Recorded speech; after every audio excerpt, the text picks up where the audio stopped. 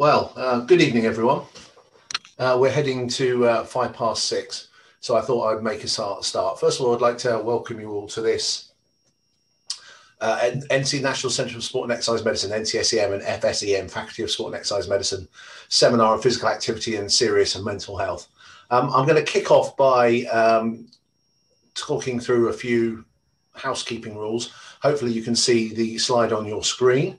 Um, somebody, what Flo could you just wave to make sure, confirm that we can see that? Thank you very much indeed. Um, just the key points are um, on entry, your camera and is switched off and you are muted. Um, if you don't mind um, keeping it that way, that'd be much appreciated. Enables the session to run more smoothly. Um, we are recording, um, so if you switch your camera or sound on, then you may appear, and indeed your living room, your pets, and indeed whatever else is in your background may appear in the recording and will be available online. So just to make that clear. Um, there will be a question and answer session at the end. Um, and if anyone has a question, please can you put it in the chat? We'll monitor the chat and we'll deal with that at, the end of the seminar, at the end of um, the, the sessions from our speakers. And 1.5 CPD points are available to participants who view this seminar uh, and details how to claim points as well as a link to the recording of the session will be sent in the next few days. So I hope that's all, all nice and clear. We're all very, very much used to these, uh, these ways of working now. So as I said, welcome, good evening. My name's uh, Mark Lewis. I'm the Dean of the School of Sport, Exercise and Health Sciences at Loughborough University. Uh, and I'm one of the um, co-directors uh, of the National Centre of Sport and Exercise Medicine.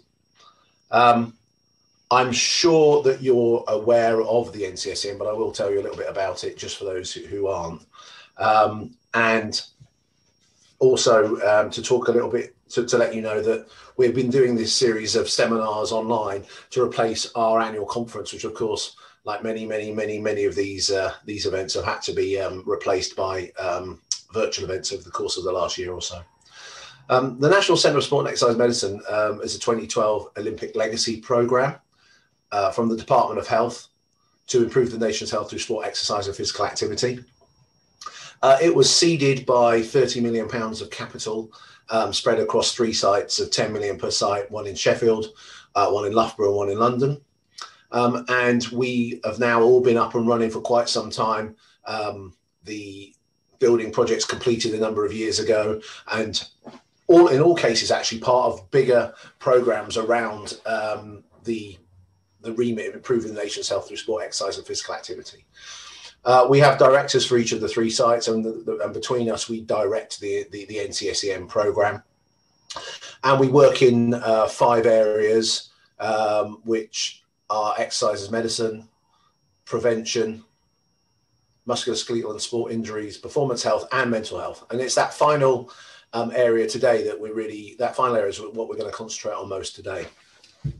So without further ado, I will will make a start. I'll introduce you to our first speaker, and it's Professor Simon Gilbody from the University of York. Uh, Simon is a founder and director of the Mental Health and Addictions Research Group at the University of York. He teaches medical students in the Hull York Medical School, where he is a member of the Centre for Health and Population Sciences. Simon is a leading health sciences researcher and population scientist. His research draws upon his clinical background, having studied psychology before completing his training in medicine psychiatry, and cognitive behavior therapy. Simon was awarded the personal chair in psychological medicine by the University of York in 2008. He takes a population approach to mental health, conducting epidemiological studies, evidence synthesis, and clinical trials to promote effective, efficient, and equitable NHS mental health services. Simon researches in primary care and at the interface between mental and, mental and physical health. Um, summarizes talk will be around physical activity, mental health, and health inequalities. And in it, um, we hope he will focus on physical activity for serious mental health. We, we, he will discuss the drivers for health and health inequalities for people with serious mental illness and place the role of physical activity in this broader context. So, thank you very much indeed, Simon, uh, for coming along and agreeing to do this tonight. I will stop sharing uh, my screen, and if you want to share your screen and make a start, that'd be absolutely fantastic. Mark, thank you for that very warm introduction. I'll just um, fiddle around whilst I try to share my screen. Bing. Oh, looks good. We're getting there, we're getting there. And get this onto slideshow. So, Perfect. good evening. Thank you, Simon. From sunny Yorkshire. So, like, Um, lots of people have been sort of drawn into this by the mighty Rob Copeland. So I don't know if that Rob's out in the ether, but um, he might also be on his bike in the um, the the uh, lovely Peak District. So it's a, it's a gorgeous evening here in Yorkshire. Um, I, you know, thank you for the warm introduction. I'm uh, particularly chuffed to be here because, you know, the National Centre is such an amazing innovation. And um, the fact that you've got mental health as one of the core themes just warms my heart because um, there are so few of us interested in that interface between mental health and um, physical activity. And I feel like we've got lots to learn, lots of um, road to travel, but um, uh, the goal will be worth it in the end because um, you know, people with who use mental health services suffer some of the most profound health inequalities, and it's that that I'm going to talk about today. And I'm going to think about the contribution that physical activity and um, sedentary behaviour and how we might mitigate that, how we might um, alter the trajectories, how that might contribute to population strategies to improve the health of people who use mental health services. So, I'm based at the University of York, and um, um I have not set foot in my campus for over a year or so now. So, um, like lots of people, I'm used to speaking online, and hopefully, I can keep you interested and entertained for the next 20 minutes. So, I'll, I'll talk a little bit about health inequalities in severe mental ill health, and I'll sort of use that Michael Marmot argument about the important drivers of physical health and health inequalities at the population level. I'll think about how that plays out for, for people who have been historically neglected when we think about physical health inequalities, people who use health mental health services. And I'll, I'll talk about the health and the mortality gap, which is a useful way of thinking about um, health inequalities amongst people who use mental health services. And then um, I'll move into the territory that will be of interest and of relevance to the to the audience here tonight. And I'll think about exercise and sedentary behaviour. How does this contribute to the mortality gap? And um, it's all right observing the world and looking for the associations, but the point's really to change things. So I'm going to ask the question what can be done if we're going to move the needle, move the dial to try and um, use exercise based interventions, physical activity to try and tackle this profound health gap that exists people who use mental health services, how might we go about that? I'll hint about some research that's been done so far, but also research that we're hoping to do over the next five years here in Yorkshire, but um, also with collaborators up and down the UK. So there's my Twitter handle. So if you want to say nice things about me or even abuse my um, my slides there, um, there I am. So it'd be nice to pick up a few more followers this evening. Oh, I can see that's happening already. So thank you, Flo, for the follow. Um, so here we go. Hold on to your seats. I've got a few slides, and um, I'm also going to thank in advance, you know, the collaborators who contribute to a really important network that we have in mental health called the Closing the Gap Network. It's an interdisciplinary network where we try to think about the drivers of health inequalities people who use mental health services. And I'm particularly thankful to a real pioneer in this area, Dr. Brendan Stubbs, who some of you might know, based down at King's College London, and um, he's had the good grace to um, lend me a few slides for tonight's um, talk. So there we go. So here we've got an interesting slide that comes from a report by Public Health England that I think maps out what the epidemiology of mental health problems looks like in the broader population. So the figure that's often um, trotted out is that one in six of the population will experience mental ill health across their lifetime at any time. So um, this one in six figure um, uh, is broadly drawn on the um, uh, the experience of people with common mental health problems like depression and anxiety. When people think about that one in six um, figure, um, they often ignore the other important group of people um, who I'm going to focus on this evening people with the most severe forms of mental ill health, people who sometimes um, receive diagnoses and labels of schizophrenia and bipolar disorder because it's not as prevalent, but um, it's quite life changing if you were to develop these sorts of um, problems with mental health, often in late adolescence and early adulthood. And it's not an insubstantial section of the population. It constitutes around a half a million people, half a million adults in England. And this is based on surveys that we do of data collected in GP registries um, and often drawn from data collected alongside the quality and outcomes framework. And um, it's uh, uh, a good sampling frame we use to come up with the population estimate. So that half a million um, section of the population is a good number to hang on to when you think about the um, uh, the population burden of the, the, the problems I'm going to talk about just over the next few slides. So this is one of the sort of Michael Marmot slides. The, um, what is it that dictates social gradients in health? Why poor people have poorer health than richer people? And the health inequalities that we observe across the general population, these profound differences in life expectancy and health in the broader population are often draw, driven by the stuff that happens to you earlier on in life. So adverse childhood events and adverse childhood experiences, things like abuse, things like um, uh, being subject and uh, witness to violence and disruptive um, uh, uh, experiences in early childhood are a really important predictor for health later on in life. Um, living in poor housing, living in poverty, experiencing traumatic events, adverse events across your, your lifetime and um, the other contributor is very poor working conditions. So um, this is the Michael Marmot story. This is what drives health inequalities in the broader population.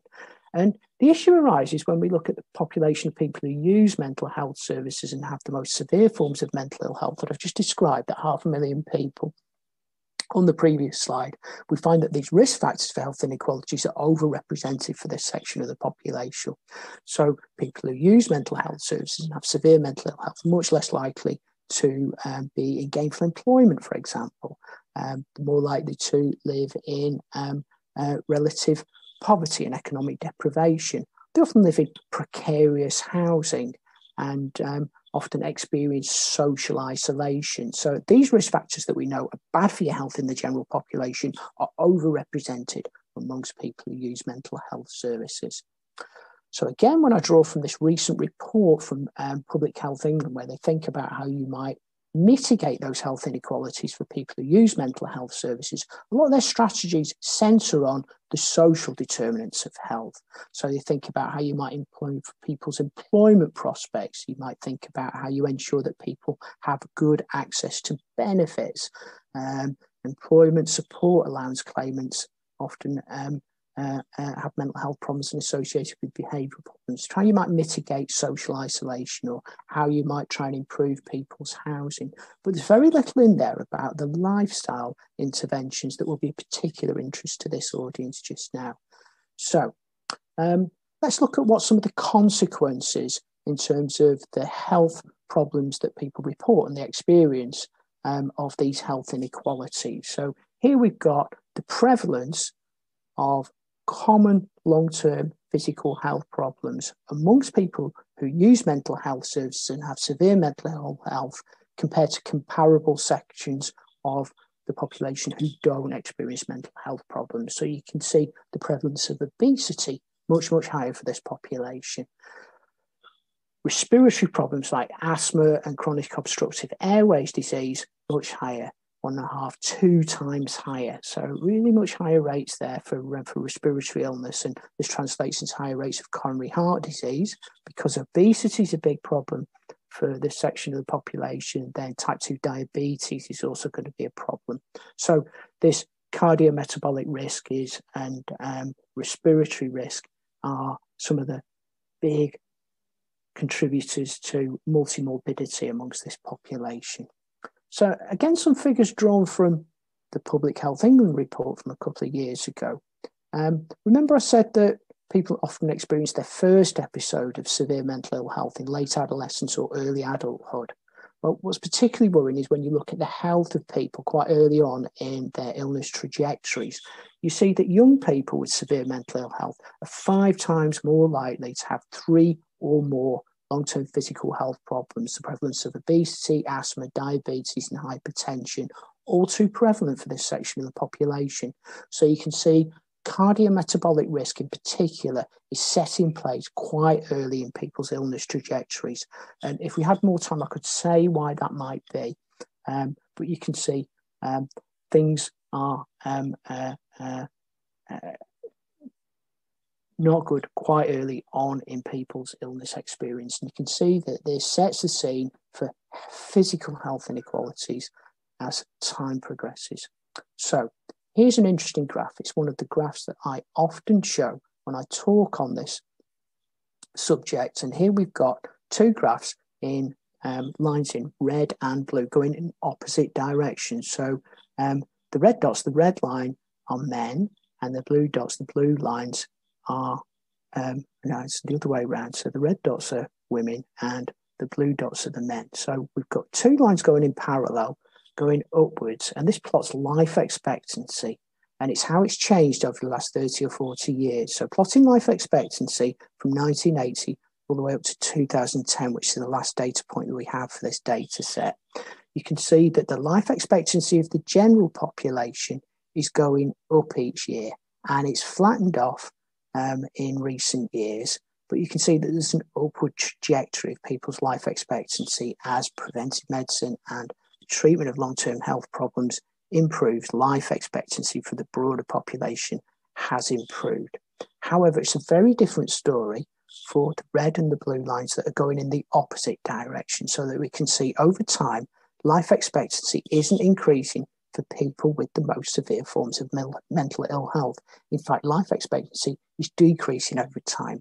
So here we have a manifest health inequality between people who use mental health services and people who don't. And that health inequality is getting bigger over time. So this is a real concern. In fact, I would suggest it's a national scandal. And I'm surprised it doesn't get more attention than it does. Hopefully, we can book that trend. So I'll talk about how we might understand how we might mitigate and change the trajectory of this health inequality. So, just to summarize where we're at. So, why do social factors such as unemployment and poverty drive poor health amongst people with severe mental ill health? Lack of support or access to care. Sometimes the effects of medication, medications that uh, people are prescribed um, for severe mental ill health, can have side effects that can cause weight gain. We think this contributes to the um, type 2 diabetes that we see for this population.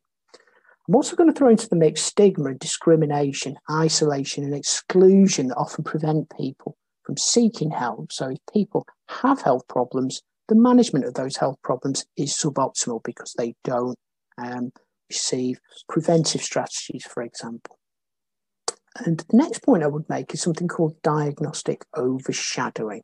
So, this is the way in which people's existing physical health problems are not dealt with properly in primary care and in hospital services. It's the misattribution that often happens within health services um, for physical symptoms as part of um, um, services that they receive as a consequence of their mental health diagnosis. So, doctors, nurses, people who work in health services sometimes don't take people as in seriously. They don't investigate in the way in which they would do for people who don't use mental health services. And then the final point that I would make is where um, we think we can make a difference when we start thinking about lifestyle approaches because increased rates of behaviours that we know pose a risk to health um, much more prevalent amongst people who use mental health services. The one that particularly interests me is smoking, is where I've done most of my research in the recent years, but also poor diet. And the last thing, which I think I'll pick up over the next few slides, this contribution of reduced physical activity and sedentary behavior inactivity. So here we are. So that's the broad context for health inequalities for people who use mental health services. So we're going to drill down now on thinking about activity and exercise and sedentary behavior, that flip side. So where do we go? So you'll see some names cropping up here. I'm going to talk about some research that helps us think about these things. So the last author there is the person I mentioned right at the beginning of my talk, Dr. Brendan Stubbs. He's a complete ninja in this area and he's a complete machine when it comes to publication. So whenever I want to find out about a topic such as this, I'll just do a Google search on what Brendan's been up to. So Brendan, along with his colleagues, Davy Vancampfort and Joseph Firth from the University of Manchester, and a few other people there, um, undertook a systematic review to um, uh, look at um, reports of sedentary behaviour and physical activity levels amongst people with schizophrenia and bipolar disorder, those disorders that we're particularly interested in, and also people with the most severe forms of depression. He's done a systematic review and meta analysis of all the studies that have been conducted around the world. So um, he pulled all the studies, found around 69 studies. So it's a big systematic review. And he shows unambiguously that people with severe mental ill health engage with far less moderate, vigorous physical activity. They display much higher rates of sedentary behaviour. And when you benchmark this against the international recommendations for weekly physical activity, they're only half as likely to meet those um, international recommended standards and levels of physical activity. So, if we think about the current focus of treatment amongst people who use mental health services, the mainstay of treatments that people receive are psychotropic medication, the ones that I talk about, antipsychotics, which do have some impact on people's psychological symptoms.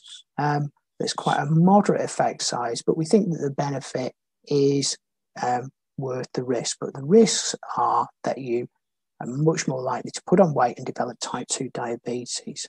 The other thing that's often uh, that is offered is psychological therapy, things like cognitive behavior therapy, which often has more modest effect size amongst people with the more severe forms of mental ill health, perhaps not quite as effective as it is for people with depression. But for most services, NHS services in this country, I'd suggest lifestyle interventions like physical activity are growing importance. And you've got a brilliant talk coming up after me um, where they talk about physical activity programs within St Andrew's Hospital setting, for example. All too often, it's seen as a luxury or of secondary importance. It um, doesn't receive the same prominence as medication and psychological therapy. So, Here's another one of um, uh, uh, a systematic review that's come from a really excellent group of people, mostly based in Australia, where there's a lot of interest in this topic.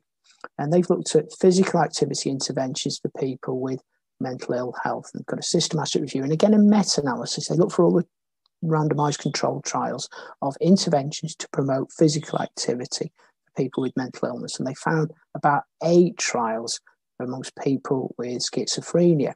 And they've shown there when they pool all those studies, they're not huge studies, but it does point in the right direction of an effect size, a standardized mean difference of one standard deviation, standardized mean difference of one, which, if you were to benchmark that against the improvements that you might see in psychological symptoms of schizophrenia, is pretty good. And it's of an order of magnitude that you might see compared to um, medication and psychological therapy. So this looks like this is heap good medicine. Why we're not using this a bit a bit more? So I'll go on again to talk about some of the benefits of physical activity based interventions. They showed that these trials, when you prove them, improve people's quality of life. They looked at anthropometric measures and also looked at some reductions in depressive symptoms. So it's the gift that keeps on giving, is what Brendan would say. So um, not quite, I can't quite see all of this um, this slide in the title there, but it's something there about um, aerobic exercise, and it's a systematic review to look again at the impact on additional symptoms that go alongside schizophrenia. So, social cognition, some cognitive problems like working memory and attention. Um, these all seem to be improved from um, a similar trial based data set. And the factors that seem to be associated with the effectiveness of intervention, it seems to be a dose related thing. So, the more exercise that you get people doing, the more benefits that you would accrue from um, this um, trial based data set.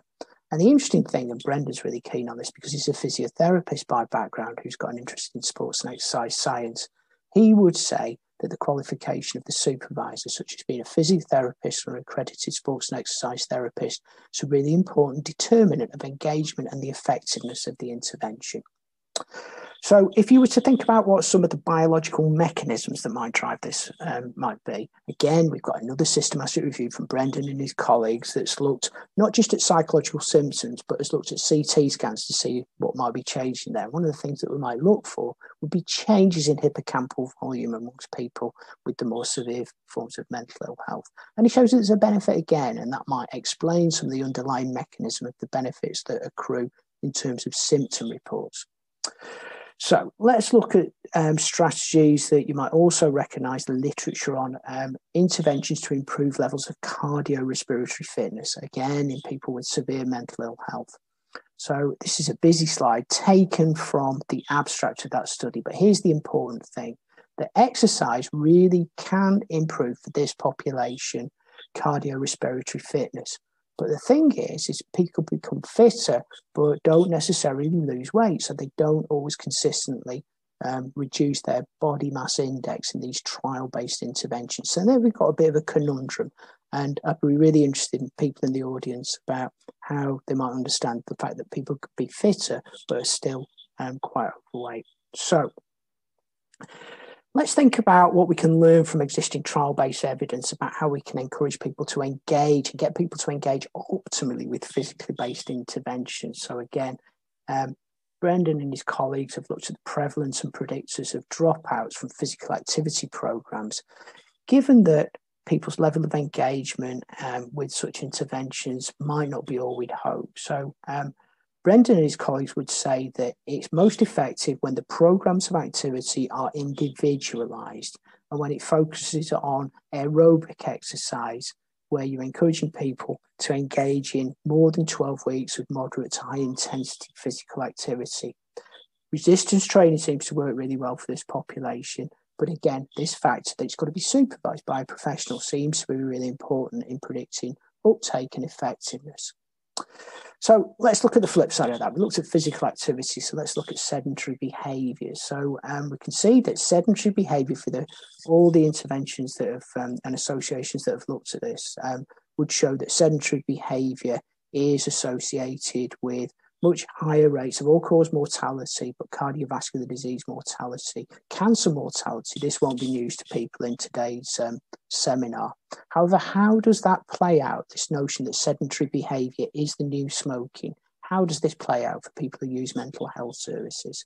So, Australia um, I've got a really strong message on this. It's like biggest killer is sitting in your house there. I really like the sort of like that in your face way in which Australians describe this thing. So I've learned quite a lot from Australian colleagues in this topic over the years. So let's look at sedentary times amongst people who use mental health services. So you can people see that people with the most severe forms of mental health, schizophrenia and bipolar disorder, have much very high levels of sedentary behavior in terms of the time during each day that they are sedentary. So, what can we do about this? I'm nearly to the end of my talk today. Is it possible for people with severe mental ill health to move more? So, um, again, here's another systematic review from Brendan and his colleagues, which fed into a really nice intervention that he's piloted with colleagues at the Maudsley Hospital down at King's College London, walk this way. He's done a pilot study of coaching intervention to reduce sedentary behaviour and trying to increase low, low levels of um, uh, low intensity exercise levels in people with severe mental ill health. So we've got a protest undertaking a pilot. Um, so how does this pan out into um, guidelines? Um, well, we've got really strong guidelines from the European Psychiatric Association, for example. Again, Brendan and his colleagues have contributed to that. And their recommendations are that it's high level evidence, the recommendation that we should offer physical activity as a frontline adjunctive treatment to depressive symptoms and also for people with severe mental ill health.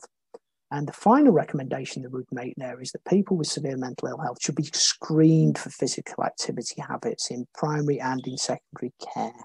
Um, so, how might we do that?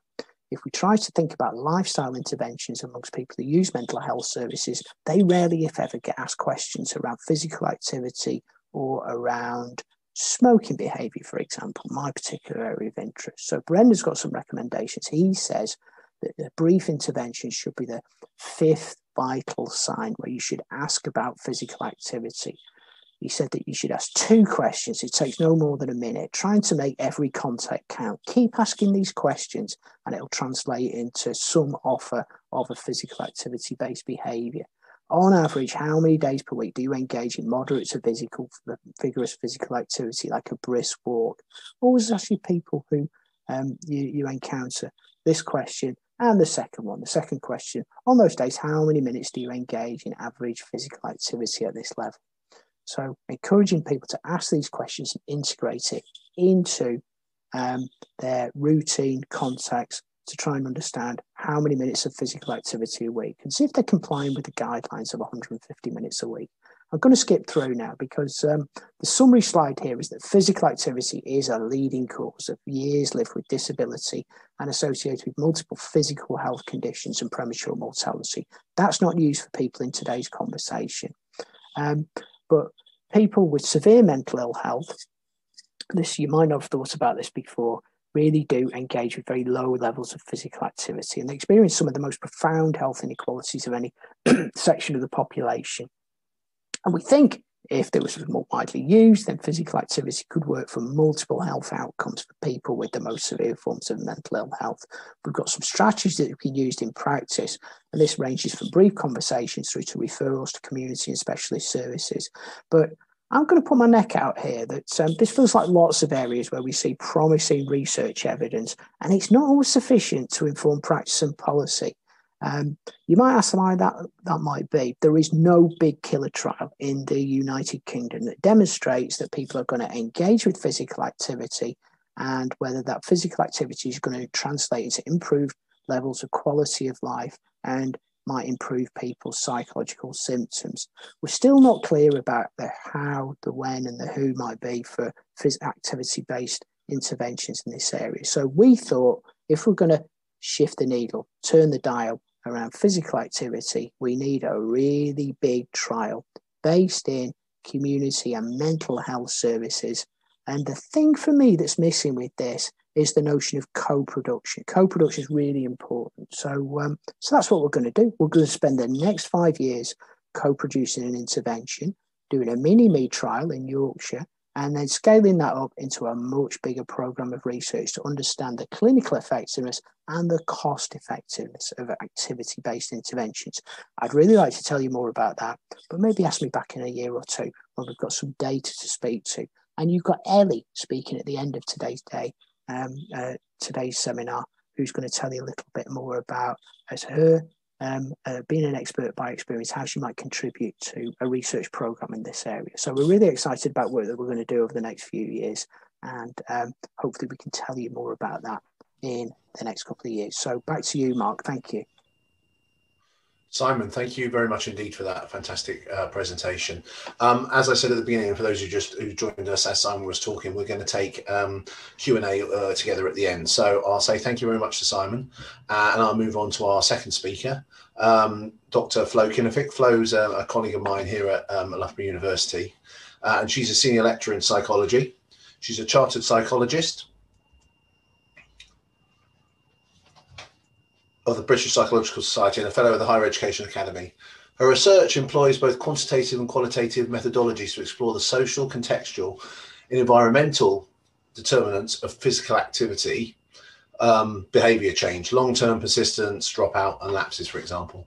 More specifically, she's investigated who and what is perceived as a source of support for behavior change.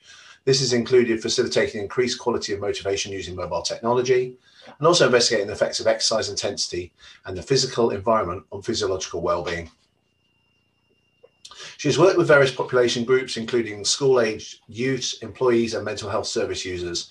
And she's going to talk to us today about physical activity in secure mental health settings, uh, where she will discuss ongoing research that provides an overview of the processes and challenges of developing a physical activity intervention in a secure psychiatric setting. Uh, Flo, over to you. Thank you, Mark. Um, thank you for that introduction as well. I've got an introduction slide, but I don't think I need that anymore. Um, so, hi everyone. Thanks for coming to the talk. I'm really thrilled to share the floor with Simon as well. And um, hopefully, you'll find that our, our talks are complementary. And actually, it's nice to see that we're on the same page, Simon.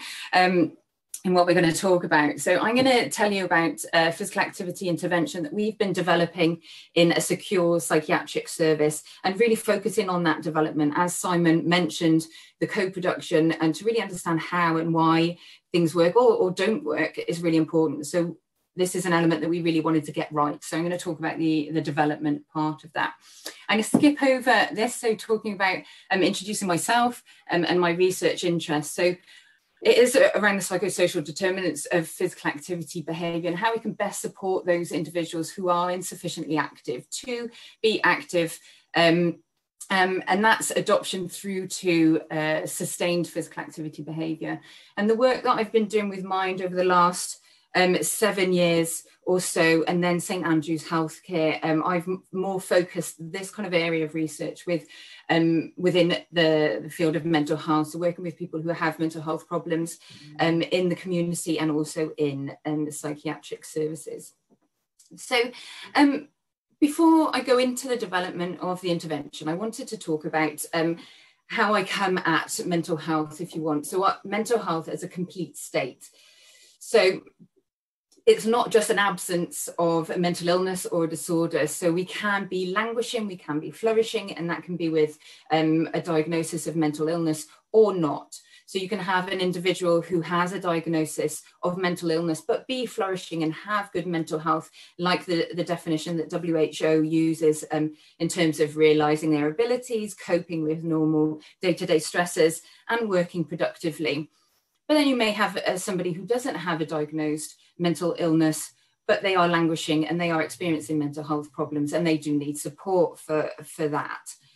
Um, so it's a dynamic state and it's important to, to, understand we all have mental health and we move through this um, dynamic state uh, throughout our lives, depending on what, what's going on. And those um, factors that Simon mentioned as well. So for today's talk, I'm going to concentrate on individuals who have high levels of mental illness, so severe mental illness, and are languishing, and who are residing in a, a secure psychiatric setting.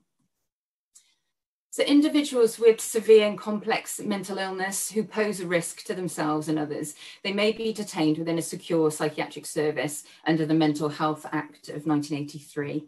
And within a service, uh, patients will have 24-hour nursing care, be under a multidisciplinary team, which is led by a, a, a clinical psychiatrist usually or another profession, uh, a clinician, as their responsible cl uh, clinician.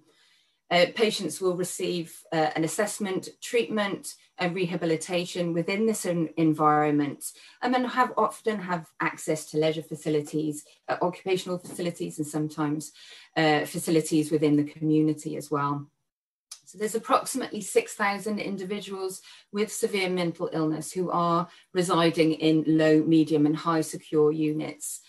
Um, and in the UK, there's currently 57 medium secure, three high secure forensic inpatient using units. So the high secure is your, your Rampton, Broadmoor and Ashworth. So this is predominantly forensic inpatients, so those with most severe um, mental illness, but also who pose the, the biggest threat to, to being outside in the community. And the average length of stay um, in one of these units is between 18 and 24 months, although it's not uncommon for individuals to stay longer. So the work we've been doing with St Andrews, some individuals come in for an assessment, um, are there for three months, others have been there for over a decade, and they will be there for, for a long time. So although this is average, it certainly does change.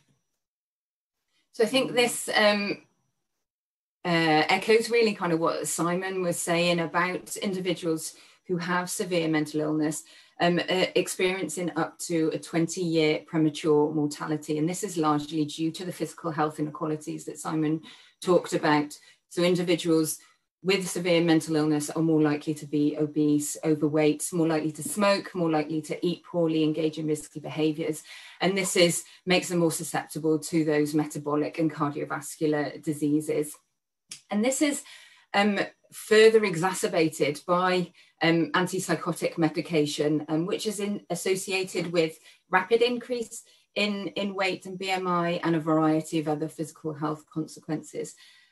And particularly kind of in a, a secure environment where the symptoms are at their most severe, illness is at its most severe, and on admission where these um, medications are, the doses are at their highest. This is kind of further exacerbated. So those physical health inequalities um, that we've discussed, they can be helped by um, lifestyle interventions such as physical activity. And those who have mental illness do stand to gain from engaging in activity. However, as we've seen in the previous talk, um, these individuals do engage in significantly less physical activity and significantly more um, sedentary behaviour. And again, in a secure setting, um, where movement is restricted and it can be restricted even further if you're on legal grounds, if you're a forensic patient.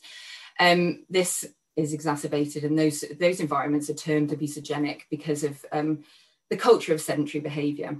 So we collected some de um, device assessed uh, daily physical activity data uh, through accelerometry on the wards, and we found that uh, patients were engaging in 775 minutes on average of stationary um, activity.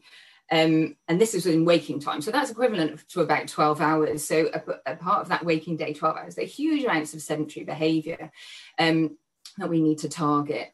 And as we mentioned, there's considerable physical and mental health benefits for those individuals um, to engage in physical activity of lots of different intensities, duration, uh, and modes as well of physical activity. So I'm going to name drop Brendan Stubbs. I think his ears are going to be burning today. Um, so in 2018, I worked with Brendan and colleagues to um, produce the, the European Psychiatric Association guidance on physical activity as treatment for uh, those with severe mental illness. And this was accompanied by um, recommendations, both clinical practice, as Simon mentioned, and also um, research recommendations, which is kind of what I'll focus on today. So there is good evidence that physical activity can be used as a treatment for severe mental illness with mild and moderate depression, and also as an adjunct to schizophrenia and spectrum disorders.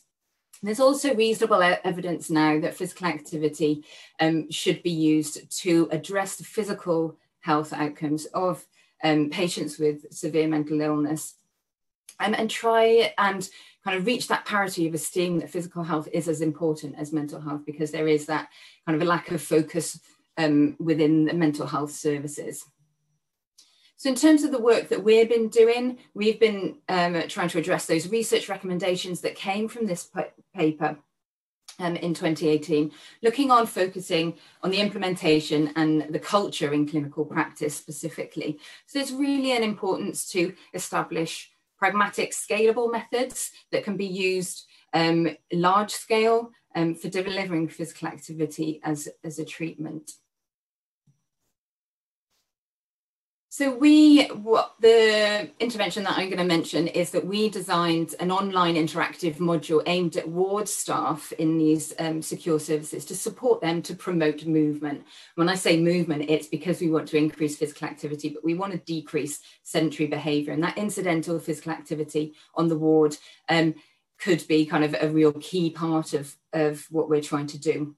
So the Medical Research Council and the National Institute for Health Research commissioned a paper on, on guidance to uh, specifically on the development of complex interventions. And I really wanted to highlight this because um, this is what is, is lacking in our understanding, um, particularly with mental illness, is um, what works for who um, and why does it work?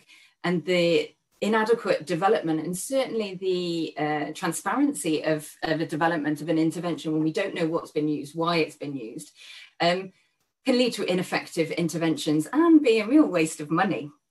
Um, and what we we wanted to get this bit right because what we didn't want to do was helicopter into a setting that we didn't fully understand um, and then propose an intervention that uh, didn't consider the context and the issues of face, or didn't understand the implementation challenges, all those facilitators that we could actually lean on within, within these settings. So uh, this was a, a really important um, part of the, the development of an intervention process. So the first bit, reviewing the existing evidence. Um, so two of our systematic scoping reviews that you can see on the right-hand side.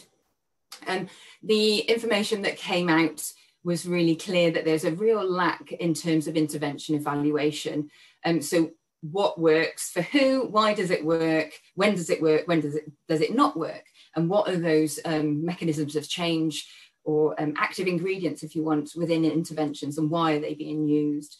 And there was um, also what came out was low recruitment and also low adherence. But because of this lack of intervention evaluation, it was difficult to understand whether this was because of the poor um, delivery and or an intervention wasn't delivered as it was intended, or was it just that the intervention didn't work?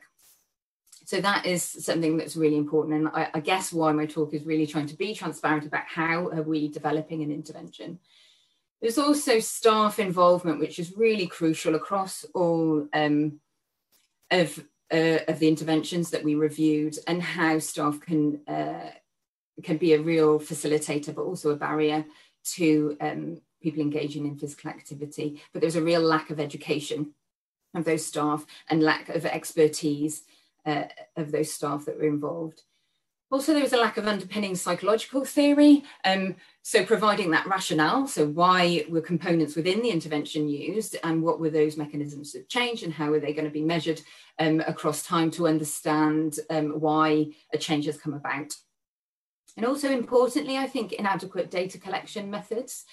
Um, so patients were often engaged in really lengthy interviews or burdened with long um, uh, surveys, which were at times difficult to understand. Some of the validated scales might not be appropriate for the, this population group, um, and relied on recall or self-report, which um, when illness is at its most severe or symptoms are at their most severe, um, it might not be as accurate um, to have that recall element. So also what we engaged in um, to understand the context um, and how a real world intervention might be implemented in this unique context. So Eva Rogers, who is a recently completed PhD student of mine um, working in St Andrews, so she engaged in over 300 hours at St Andrews over a 12 month period. Um, and she was uh, kept a reflective diary in that time and documented her thoughts, her feelings, um, and also logistical implications of um, carrying out research in this environment. Um, and I think it's important too. She she spoke with the uh, multidisciplinary team. She spent time on the wards. She was involved in the psychotherapy, um, the exercise session, meal time. So kind of all the the different aspects, um, the community meetings, um, all the different aspects within St Andrews. I think it's important to note that this immersive work is really time consuming. So it was part of Eva's PhD, so we were able to do it. It is time consuming but it does really support that deep and nuanced um, insight, which is unavailable through different um, um, methods. I think health intervention work that that draws on immersive work rather than the traditional and, and sometimes tokenistic patient public involvement is really better equipped to produce those effective um, strategies. And it's great if you can engage in um, PPI, so patient public involvement, and have focus groups to understand the context. That's 100% better than not doing it. Um, but to immerse yourself in a context um, and to really understand what's going on um, is really insightful.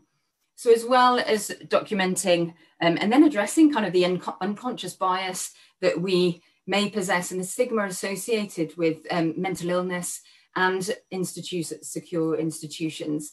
This um, time that Eva spent was undoubtedly essential um, to the ongoing purpose of secure services um, and the day-to-day lives of patients and staff.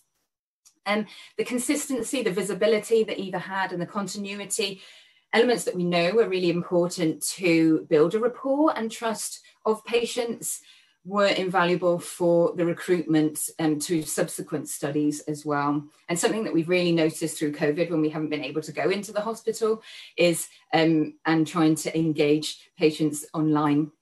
Very difficult, and we've really struggled for that. So building that rapport and understanding is, is super important. Also, in terms of practically the logistics of um, devices, I'm just thinking about the accelerometry devices that we were um, using. This process of finding appropriate and safe devices was lengthy. We had to go through several departments, um, engage in understanding of the, the security um, elements, and also speaking with the clinicians who are responsible in terms of who might be able to wear those devices. Um, and then the device itself, so staying away from the, the waist worn with the straps, which may, with the, um, the long straps, which have a, a danger for self-harm um, with the risk of becoming a ligature. So we went with the wrist-worn uh, GENEActiv accelerometer, which you couldn't take apart. And that was all approved. So all those things, uh, being able to immerse yourself in the context, saved us a lot of time, taught us an awful lot um, in, that, in, in that time. So I think that's a really important and kind of goes along what Simon was saying in terms of co-producing and uh, these interventions. And so two further uh, papers, uh, studies that we, we did qualitative in terms of trying to understand the physical activity experiences and also perceptions of uh, uh, implementing a physical activity intervention in these contexts. So we interviewed healthcare assistants, which is the, the staff, the ward staff that we wanted to target as part of this, uh, this intervention. So those individuals who were on the ward um, with the patients, they understood the individual needs of the patients and they had that rapport as well. So how could they promote physical activity on the wards? Um, and then also patients, obviously getting insight into the patient's experiences was really important. So the healthcare assistants, they viewed exercise as multi-beneficial to patients. And they, interestingly, they were discussing how it could provide a normalizing effect. So it could be an activity that um, patients would engage in, which wasn't about their mental illness. It wasn't about therapy, that they could, eh, they could be anywhere doing it. You know, it could be something that they would carry on doing um, after they were um, discharged from the hospital. But it also carried that therapeutic treatment and they did um, see improvements to mental health symptoms to those people who were regularly active.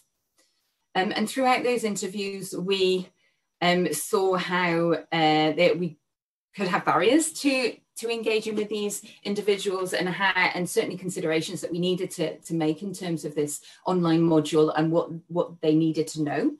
Um, so there was very much an organisational culture of uh, physical activity, but sedentary behaviour, whereas staff um, admitted that they preferred it when patients were sat around not doing anything because they felt that the ward was safer. They felt that the ward was more in control if nobody was moving.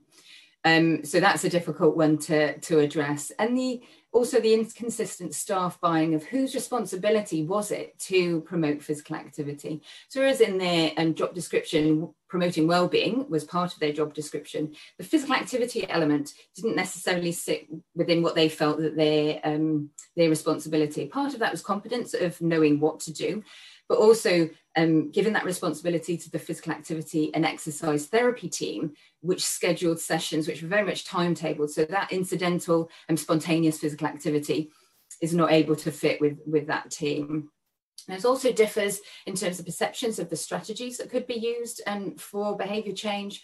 So thinking about informal conversations on the wards about how people can engage um, in exercise and encouraging that versus more compulsory interventions where patients are required to engage in physical activity as part of their treatment. But then obviously that kind of contradicts a little bit in terms of the normalizing effect, taking it away from the therapy. So there's lots of uh, lots for us to think about in that. And then the patients highlighted um, how uh, there was a lot of issues with motivation in terms of um, the, the symptoms could uh, interact with their motivation to exercise. Also, those unwanted side effects of medication, kind of lethargy, weight gain, and um, which particularly impacted on self confidence and self esteem to, to engage in physical activity. And then there was that idea of whether exercise was holistically beneficial. So certainly it was there was collective agreement that there was a relief from mental health symptoms when you were engaging in physical activity. But it was a bit of a double-edged sword in terms of those individuals who are experiencing manic symptoms and how exercise sometimes could um, exaggerate those symptoms. So I think what is um, important to understand that physical activity is not necessarily a, a panacea to, to cure mental illness, but it certainly should be used as part of a toolkit of support uh, for these individuals. There's an interesting paper by um, Tony Williams who, who talks about how exercise is not necessarily good for everybody all of the time. And I think it's good to acknowledge that, understand that, and when it is good for people and, and try and hone that. Um, I'm thinking here for the manic symptoms, but also uh, understanding eating disorders as well. So some just things to be uh, to acknowledge and think about. And then again, staff came up um, really as a key in terms of a barrier and facilitator to exercise. So access, whether there was enough staff, so if an incident happened and staff were called away, there was no one to escort them to, to take part in any exercise, which individuals in secure settings have to be uh, uh, escorted, sometimes two or three staff members to one person. So a, a, lot of logistical considerations here, and then con conflicting and inconsistent attitudes, which uh, supported some of our earlier evidence as well in terms of the need for education for the staff and understanding their attitudes to try and um, change them. So given that motivation was a problem and we wanted to um, implement a theoretical framework that was accessible to the staff that provided practical recommendations that they could use. So we underpinned um, our work with self-determination theory, which is a, a macro theory of motivation. And this theory focuses on the quality of motivation rather than the quantity of motivation. And um, it can provide uh, guidance on behaviors and also content of supportive communication um, of how HCAs can promote autonomous motivation rather than controlled motivation. So when I talk about controlled motivation, I'm talking about um, when an individual feels that they have to do something and they perhaps they've been told to by one of their medical team that they, they have to, to exercise, but they don't want to, they don't see any value in it, etc. So what we want to do is move those individuals or help the HCAs to have these conversations of how to facilitate that autonomous motivation, to get people to see the value in the exercise themselves, whether it's the mental health, the physical health, the social element, and um, that the, the individual can see the value. And then ultimately, what's kind of the real goal is that intrinsic motivation where people love doing exercise for exercise itself, which isn't always, um, it's a difficult one to achieve within physical activity and exercise interventions for those who don't exercise regularly. Um, but that's kind of what we what we're driving towards because you know uh, if you love something that you're more likely to do it we if you if anything that you love doing it you want to do it again and again um, so this was the um, theoretical framework that we had. So we worked with um, the learning and development team at St Andrews and finalised the prototype.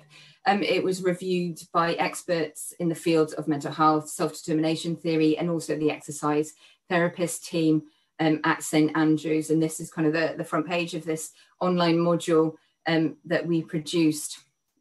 So a couple of kind of elements of that online module. The first section of the module aimed to improve knowledge, um, provide information of exercise for um, severe mental illness and also some of the consequences of inactivity. And then we also included some of that qualitative work for the benefits of um, uh, patients that experienced, so patients from the wards, we could kind of put in how they felt about the exercise as well, to, to bring that, that element to life. Um, and then we talked about how, the role of the, the healthcare assistant, the, the role that they could play in promoting physical activity. And then the next section uh, was underpinned by self-determination theory and it outlines the theory, the importance of behaviour change, and also provided examples of how the HCAs could adopt um, this kind of approach, if you want. Um, and this was using interactive kind of scenario-based um, components to, uh, to the module.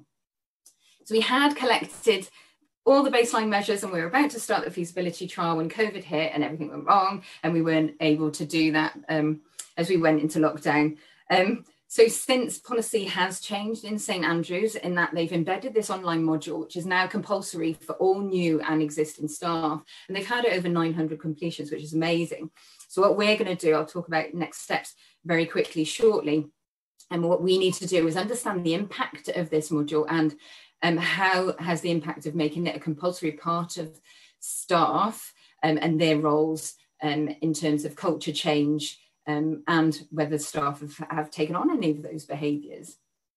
So kind of taking you to some concluding remarks then, um, and a bit about the next steps that we're aiming to do. So following that MRC guidance, we developed the online module, um, which was aimed at ward staff to support them in physical activity promotion.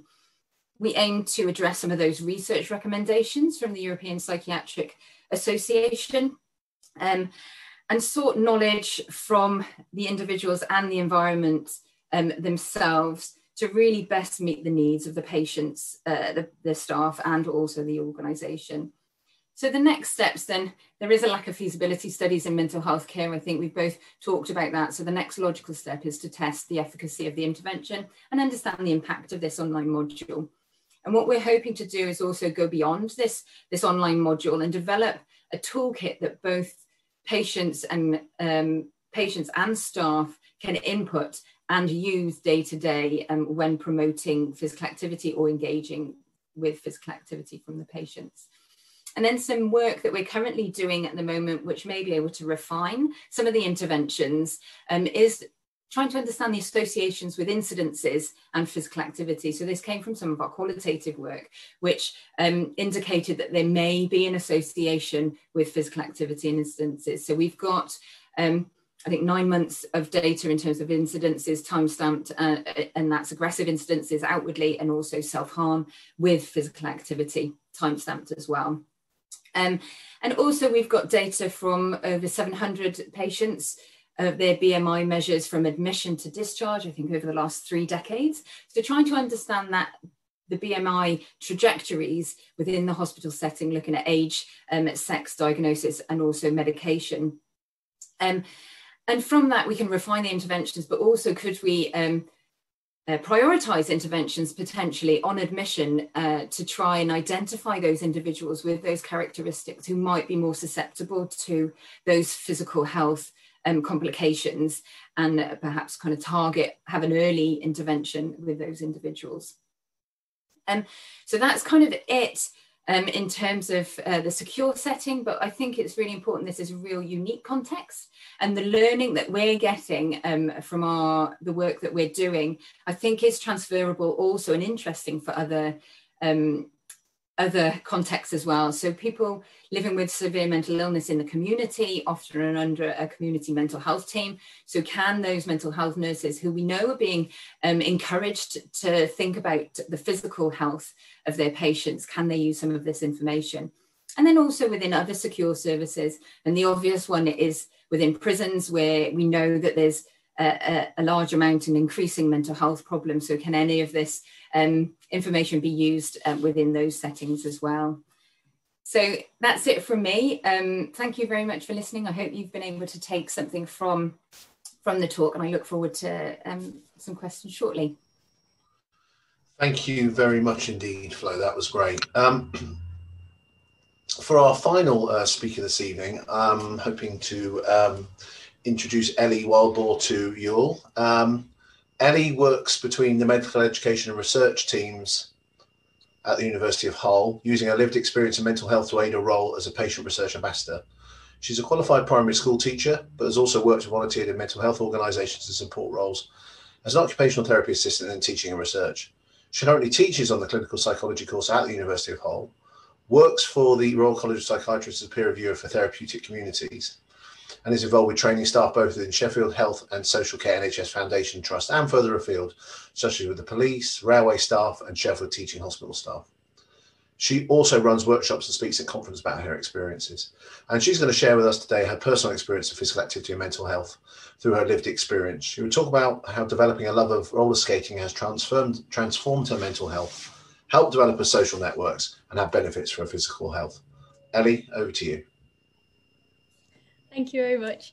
Um, hi, it's really it's really nice to be here, and I'm hoping to. I guess it's been really interesting listening to the previous two speakers, um, and I'm hoping, I guess, to put a bit of a sort of um, uh, all that into all that theory into like a real life context for for you. Um, so a little bit of background about me. Um, I'm someone who's had um, significant mental health problems for a majority of my life. I'm 33 now and was um, first diagnosed at 17, although in real, re- real realistically, I probably had mental health problems going back way before that. Um, and um, particularly in the last decade or so, I've spent a lot of time in and out of hospitals. Um, um, both like uh, mental health hospitals and uh, general hospitals um, because I had a very high level of self harm and suicidality. Um, and um, have been one of those people that's been counted off by the system many times. She's never going to recover, she's never going to live fully independently. Um, uh, and um, I'm not cured by any means. I still struggle with mental health problems every day. Um, going through a bit of a wobbly patch now. I'm not going to lie, um, but uh, my life has also changed a lot um, in the past couple of years um, for the better, and I found some of those things that have have helped me to to kind of like latch on to the the real world um, and kind of pull my keep pulling myself forward even when I fall back backwards. Um, so yeah, I um, physical activity for me has been a massive part of of that process in getting to into a better place and, and most significantly a safer place um, because I spent a, a, lot of my time not being a, a safe person um, in terms of risk towards myself um, which also inadvertently can, can cause risk, risk to others when I'm really unwell.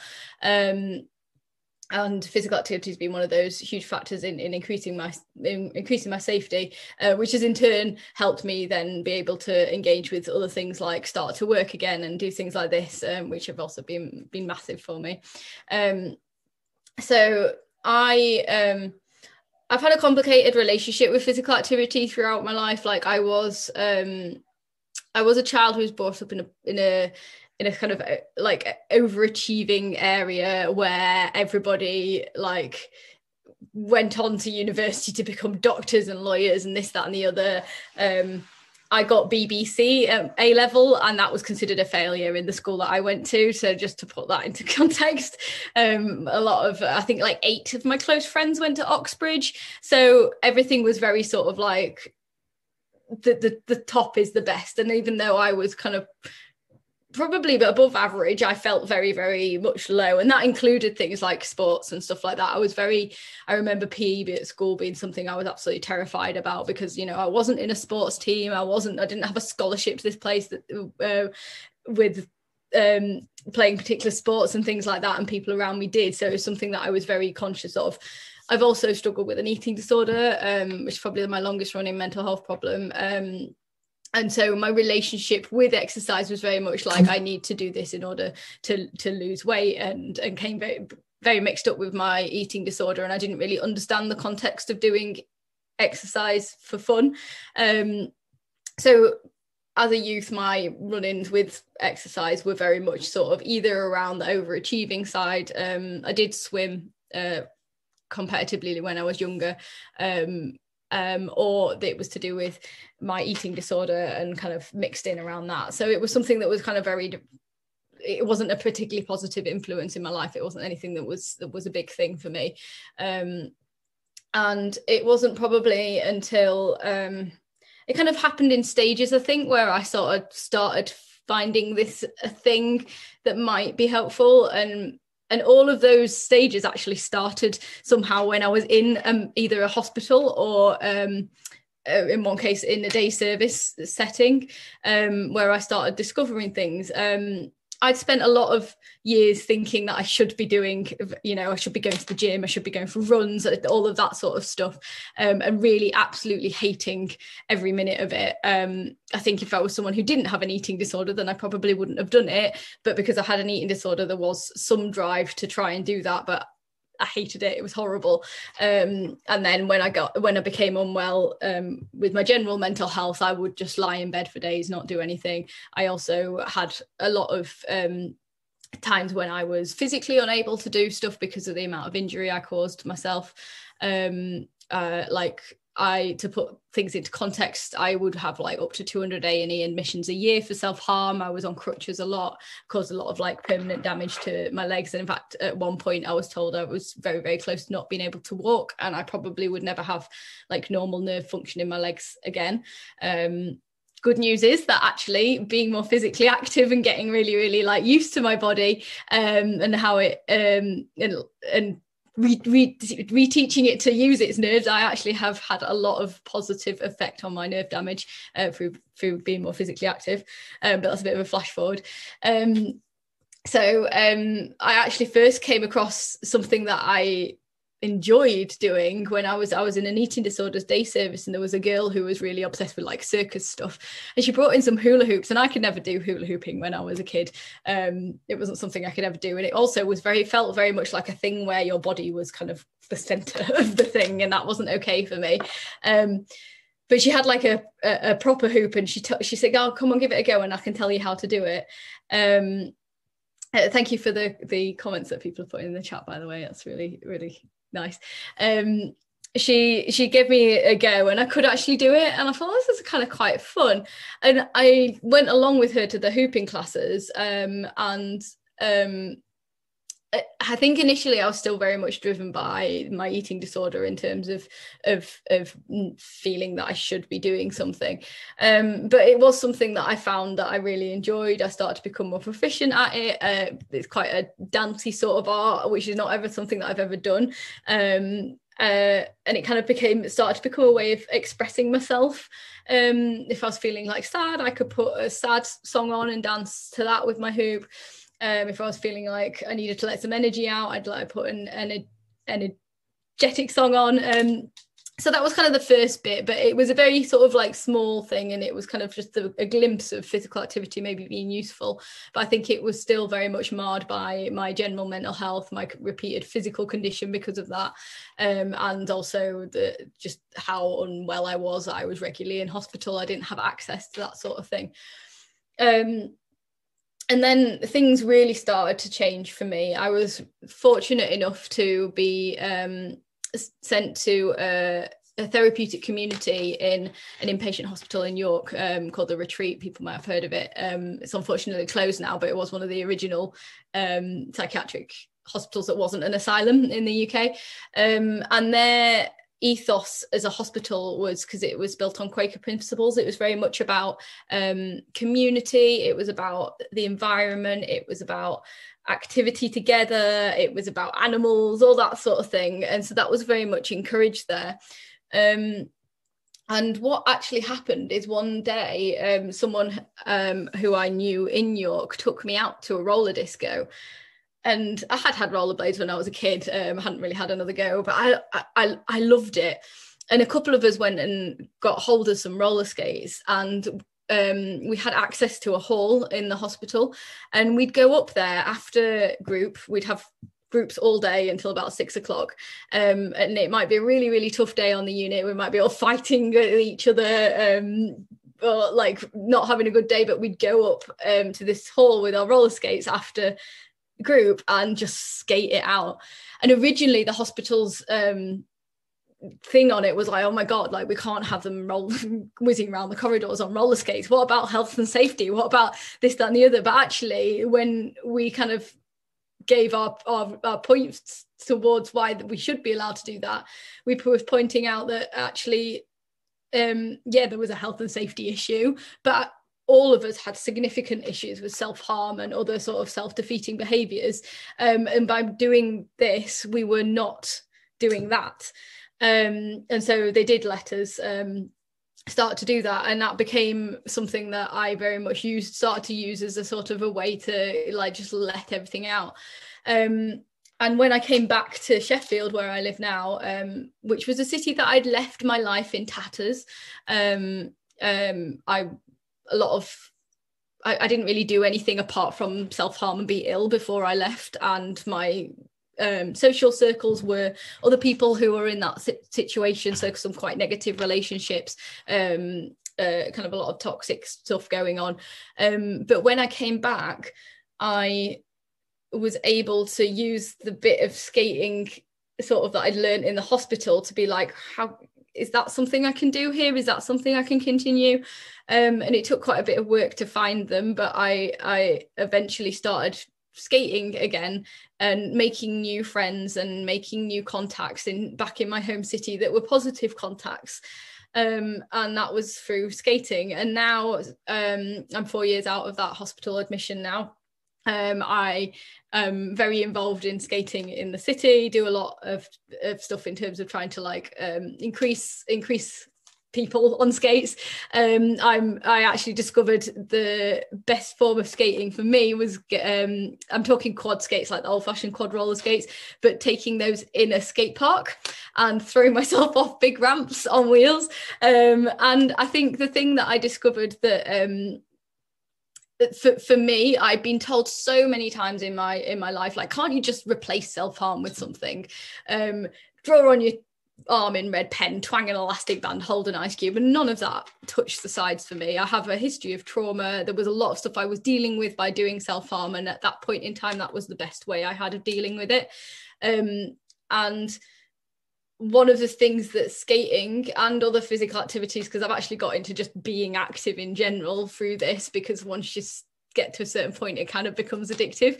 Um, uh, it, what the things that skating gave me is it gave me um, that physical outlet, like kind of quite quite aggressive. I had quite an aggressive sort of side of me, which was kind of inwardly, um, you know, aimed at myself in terms of self harm and things like that. But I could get that out on skates. I was meeting new people. I was learning new things like every day. I had this different relationship with my body, something that had been a cumbersome thing that I hated. There was like nothing I liked about it. I didn't see the benefits of having a body. I would have quite happily not had a body if that was an option.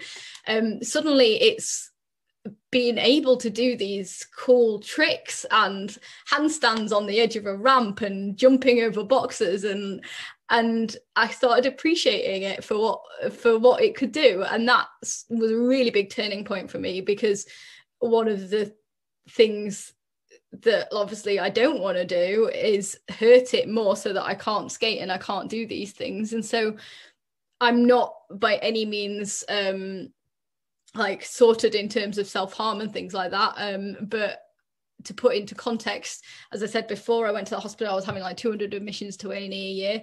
Last year i had four. Um, and that's a massive massive reduction and a lot of that has been to do with finding this sort of thing this thing that really made me tick. And i think one of the most important things for me is realizing that actually one of the things that i needed in my life and this is a bit controversial but i needed a kind of sense of danger, a sense of risk. There was something uh, about that aspect of of self harming, about suicidal behaviour that that did something for me. And skating provides a more socially acceptable and less damaging to me and everybody else um, way of getting that risk. Yes it is a risky sport. Um, i have hurt myself. I've been concussed. In fact i'm recovering from concussion right, uh, concussion right now. Um, i've got had some very very gnarly bruises uh, like the whole size of my side of my thigh and things like that. But it's it's kind of like I'm I'm doing that in a positive way instead of if I wasn't doing that I would definitely be hurting myself in other ways. Um but by skating I, I might hurt myself but ch- as time's gone on actually I'm less likely to hurt myself because I've learned that I've learned how to fall. And that's been a massive thing for me in my life is um, learning how to fall in life and how to get back up again. Like skating involves a lot of falling. Anybody who knows what skating is at all will understand that people um, uh, fall a lot in skating it's often something that people scared about are scared about but i'm not scared of falling anymore.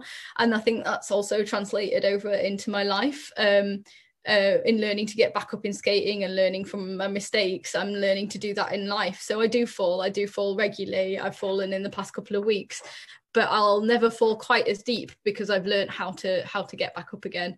Um, so yeah i think for I just like uh, for me, I want to advocate that um, physical activity can be a life changing thing. It can be a life saving thing. I'm not being over dramatic when I say that physical activity changed my life.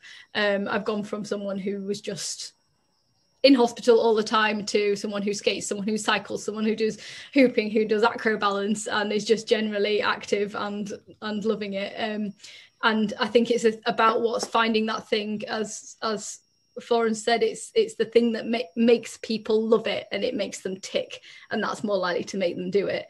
Um, so it's not always about thinking, you know, run of the mill, going to the gym, doing a football match. Like that might be great for people, but sometimes it's thinking outside of the box. It might be circus activities, it might be climbing, it might be roller skating. Who knows?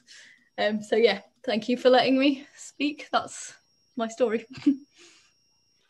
Ellie, thank you very much. Um, uh, I'm uh, that that was hugely inspiring, and, and you delivered it so beautifully. So, thank you so much for telling us about your experience. I mean, uh, you generated a huge amount of chat in in, in the chat box, uh, but everybody just basically saying um, how how great it is to hear hear you speak, but also um, to hear you relate to the things that we've been talking about in a much more academic sense earlier to really bring it to life for us. So, thank you so much for that. It's really, really appreciated. And, and um, yeah, could listen to you all day. So thank you. That was fantastic.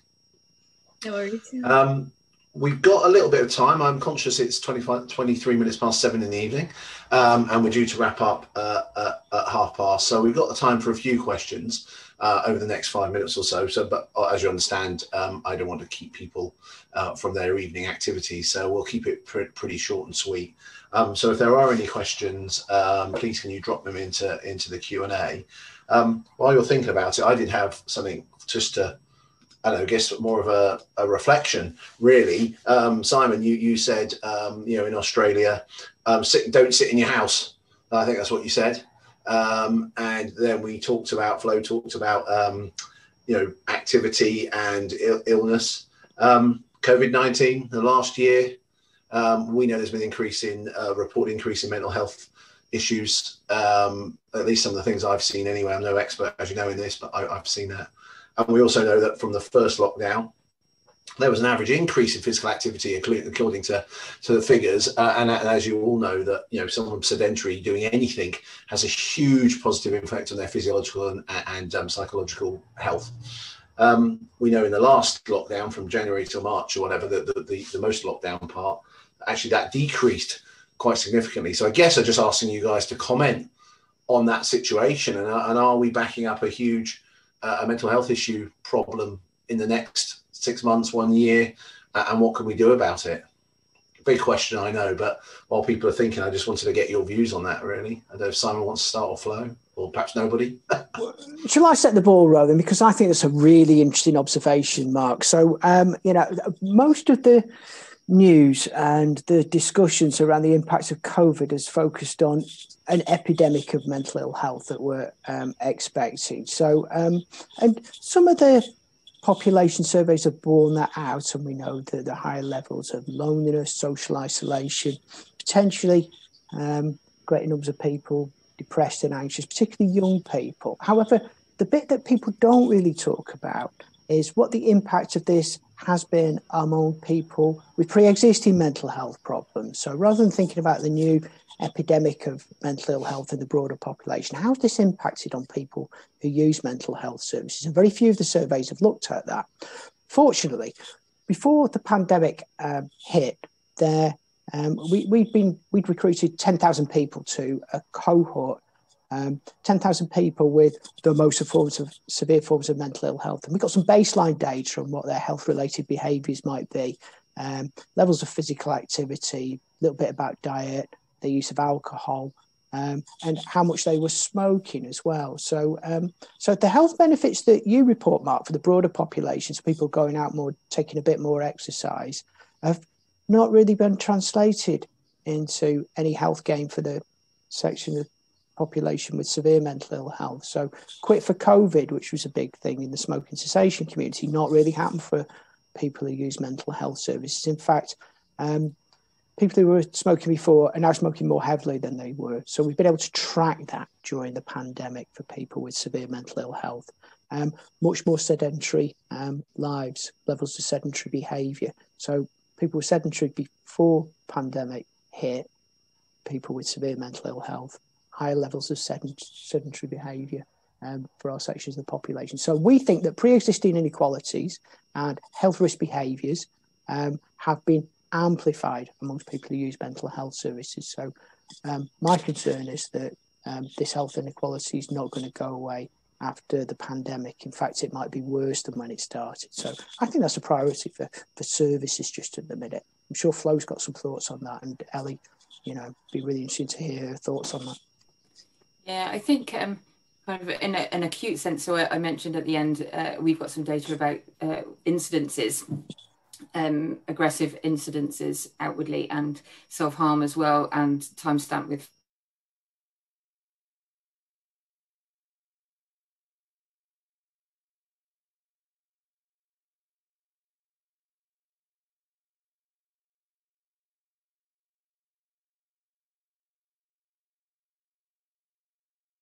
think that's worrying and how um, you can address that when you're not able to access those facilities or within the services yourself um, and really stuck in in small like whole wards on in isolation and because of COVID in hospital. So yeah, I, I'd agree that um, it's going to need some big efforts, I guess.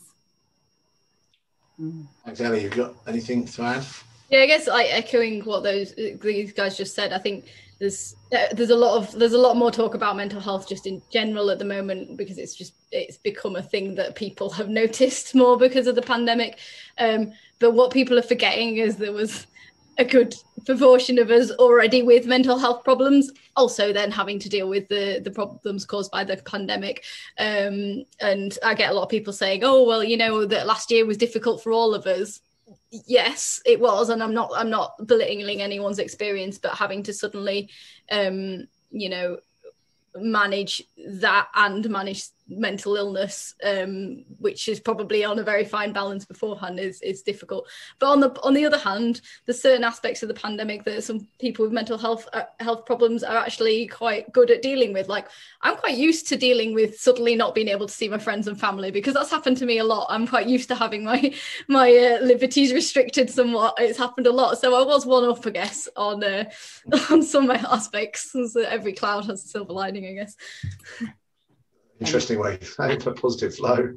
Can I just add to that? Thanks, Ellie. It's really nice to see you as well, Ellie. Um, I know I've worked with you on the Mind uh, yeah. work. So, um, uh, with Mind, so I've just been um, evaluating their sector support program, so um, supporting mental health within the sport and physical activity sector, and kind of thinking about silver lining of COVID. I'm uh, um, trying to look for that, but there has definitely been an acceleration of consideration of mental health within the sector.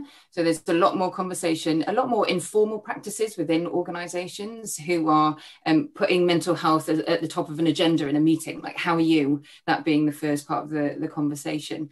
Um, so certainly looking after employees has uh, within the sector has um, accelerated, and I think it, it's definitely part of COVID how it was normalizing the conversation about mental health because everybody was talking about it. So um, that is a positive in terms of uh, the, the sports sector specifically. Thanks. Um, we, I, am conscious that it's half seven, but there are a couple of quick questions um, I'd like to throw out there. So, um, one for Ellie. Um, do you have any tips for health professionals in how to help those with um, with MI to find the activity that floats their boat? Um, yeah, that's a really good question. Um, I'm kind of doing a, a, bit a bit of work about this in in in Sheffield, sort of that uh, helping helping professionals to help people find those things, um, not just in physical activity, but also in like other social connections. Um, and I think I think one of the things I, I kind of find this quite frustrating actually um, and I understand why people do it, but a lot of professionals come in and they, they're like, Have you tried yoga? Like, I've tried yoga and I find yoga really, really helpful.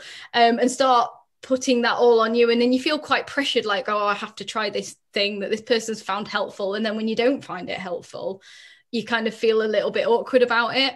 Um, so I think it's more about um, kind of keeping a bit of an open mind and kind of like exploring with that person what sort of things um, you know are are they interested in are they somebody who who maybe likes being outdoors? Is is that something that, that you know do they sit in their garden a lot when they're sedentary? Whether maybe you can think about outdoor activities um is, you know what sort of like it, there's there's other things as well like you know for example um, you know when pokemon go was a big thing um, and suddenly like all these people who would normally be sat behind their computer just gaming were going out and meeting other people who were playing this. So it's, it's sometimes it's just being a bit inventive about it thinking outside the box find like find what makes that person tick um have just open conversations not like going in with a closed sort of like well there's you know there's this thing you could try or there's this thing you could try. Like just just keep it keep it open. Look for clues in that person's personality as well. Um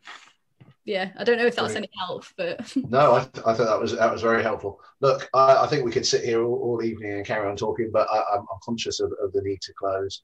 Um and I'm going to close really with not a question, but something for everyone to think about. Um, the question to the group um, was given that mental health services are typically underfunded, what would be the best approach to embedding physical activity therapy resources?